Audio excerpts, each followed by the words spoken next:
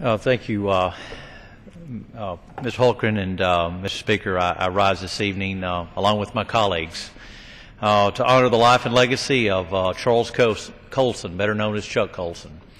Many people remember Chuck Colson as the hatchet man for President Richard M. Nixon, and also the first member of the administration of- under Richard Nixon to go to prison.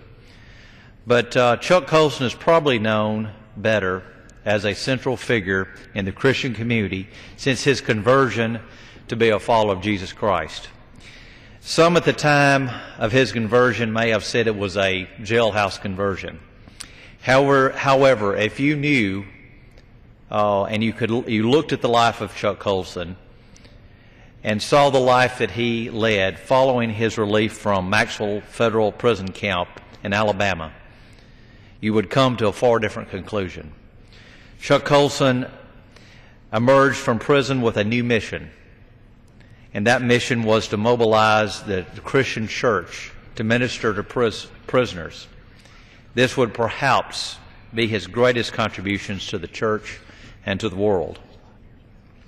Chuck Colson was someone who uh, rose high to high places uh, in the eyes of the world uh, during his uh, all the time during his time here in Washington and his political career.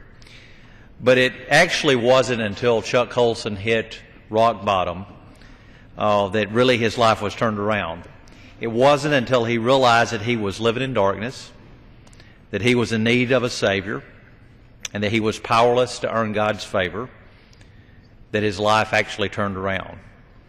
If he were uh, with us here tonight, I think Chuck would unashamedly say that placing his trust in Christ, recognizing that Christ had paid the penalty for his sins, was the best decision that he ever made in his life. And I can say these things about Chuck Colson because I had the opportunity to get to know Chuck Colson personally over the last several years and the honor to call him a friend. Chuck Colson made many friends over his life, and of course, he will be missed uh, greatly by so many around the world, and of course, to Patty and his children, uh, he will be sorely missed.